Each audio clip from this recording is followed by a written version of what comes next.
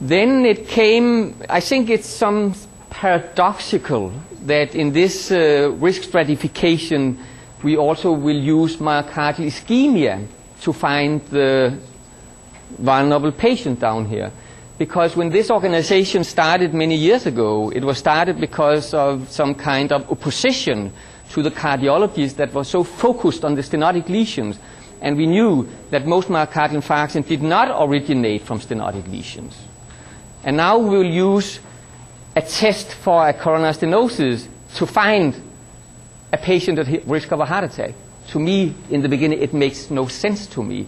But I know there is some data that tell you that you can risk stratify, but in fact, it's, it's in contrast to this movement, the way it started, where we would like to say, we are not going for the stenotic lesion. What we are going for, it's a vulnerable lesion. And we would like to risk stratify it according to vulnerable lesion and not stenotic lesion. So I would prefer to have the vulnerable lesion not there. Well, here it is. Can we go back to your slide? we have to wait. How, how long, We have a how long back? this room. We have a pioneer in this room. That's Jim Muller, We started this whole thing. And I want to ask Jim directly for this. When we started this, we were so obsessed about one vulnerable that's killing everybody. And this is a big fat, uh, thick fat, uh, thin fiberglass room. And we were so obsessed. I thought it was hot. He thought it was uh, near infrared spectroscopy. Actually, Casscells was. Dr. Cassell thought it was hot. I was following it. But we came to realize that there is more than one vulnerable plaque not 200, but more than one vulnerable plaque. And also, this vulnerable plaques, for most cases, they rupture silently.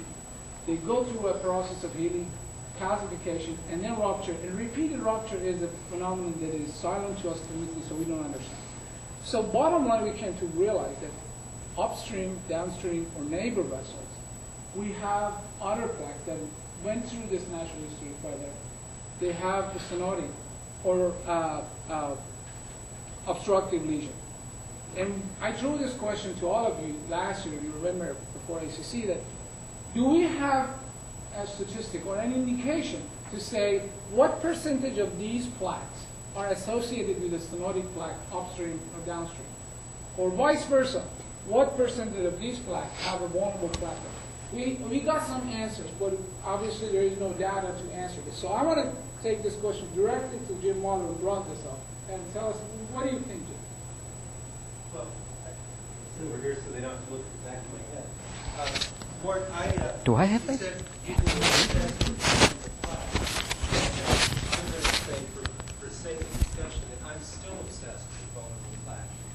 I think what's happened is that a number of people have moved from vulnerable plaque to vulnerable patient, which being a, um, uh, in that large asymptomatic group, I'm glad people are doing that, and I hope they could find out if I'm a vulnerable patient or not. But I think there still is some utility in a group of people working on vulnerable plaque while others work on vulnerable patient. It's really a two-front approach that's better. Because when you said of all those heart attacks, 600,000 of them occur in people with no prior disease, well, the other 600,000 occur in people with prior disease. Right. So, or who are in a cath lab. So, I think there's room for a crowd of people to work on that half of it, where in the people that are in the cath lab. As you know, and I probably should disclose, um, I'm I'm no. I just took a leave of absence from academic medicine, so I'm now industry building a catheter to find vulnerable plaque in the coronary. Now, having said that, I think that if people who want to work on that part of the problem in the cath lab based have some luck and can find those lipid rich plaques uh, invasively, then that might help the non invasive detection methods move along faster, which could then be applied to the general population. Also So- to learn, also to learn natural history. Yeah, I also think that a, uh, you ask how would you find that 10% vulnerable patient? Well, if you could find a vulnerable plaque, that's a vulnerable patient. And it could, when you talked earlier about relative risk and cancer diagnosis, uh, if you find a melanoma diagnosis, you've got a relative risk of 1,000 of having, if you find melanoma on a biopsy, you've got a relative risk of a thousand versus a person who doesn't